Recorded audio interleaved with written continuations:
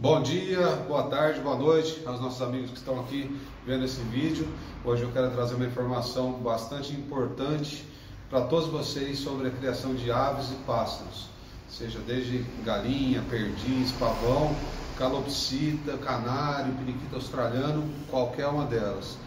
Existe um hábito não muito saudável né, da automedicação ou de você medicar porque alguém te orientou a dar um antibiótico ou, ou uma droga para o seu criatório, para suas aves, tá?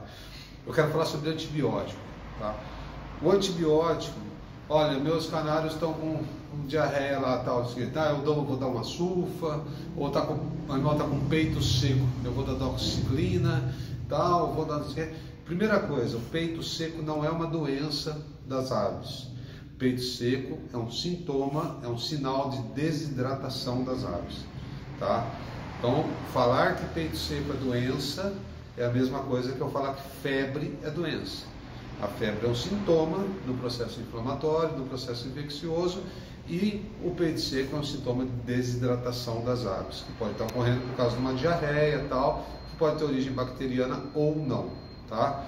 Então, primeira coisa, uma dica, Antes de você fazer uma medicação nos seus criatórios, tome cuidado. O uso excessivo de antibiótico vai favorecer o crescimento de fungo e aí você vai ter um problema muito mais sério.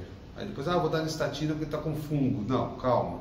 Primeiro, o correto é fazer uma cultura do material e um antibiograma para você ver a qual grupo de antibióticos aquela bactéria que está causando o mal nos teus animais, ela é sensível.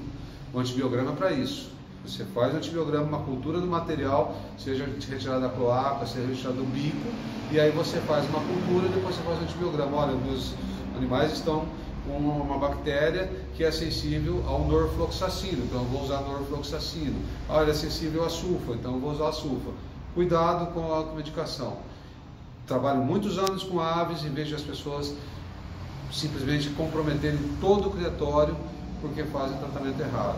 Cuidado com a automedicação. Consultem sempre um veterinário para cuidar dos seus animais. Obrigado e um abraço a todos. Fiquem com Deus.